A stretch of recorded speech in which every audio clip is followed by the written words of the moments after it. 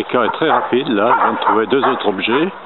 Elle n'est pas du tout gênée par, par les chiens qui aboient.